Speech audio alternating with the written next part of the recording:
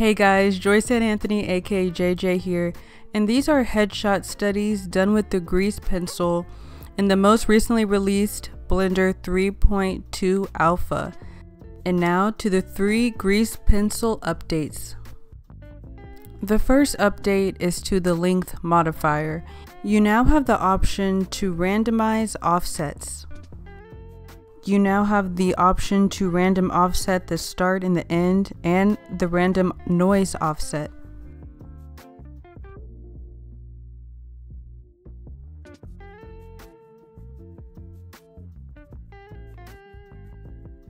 The second update is this new contract feature with the fill.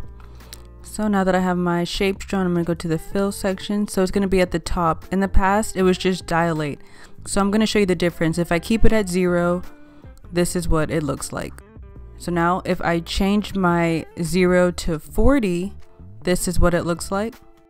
And in the past, you couldn't make it negative, but now you can. So now I'm going to change it from 40 to negative 40.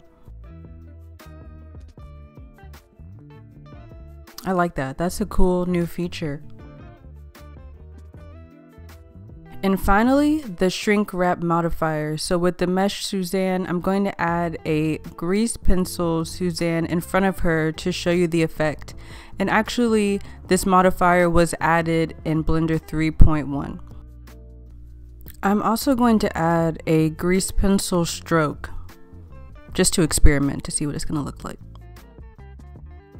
And now with my 2D Suzanne selected, I'm going to go to the deform modifier and click and click shrink wrap. And then for it to work, I need to select the target and change the target to my 3D Suzanne.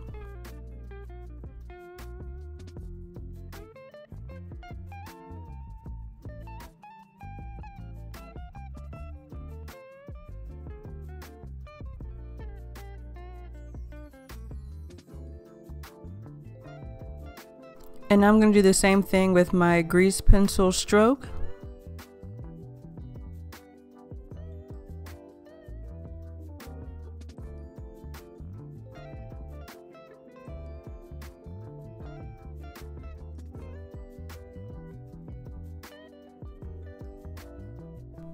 Well, I'm going to keep playing with this modifier. Thank you so much for watching the three updates to the Blender Grease Pencil.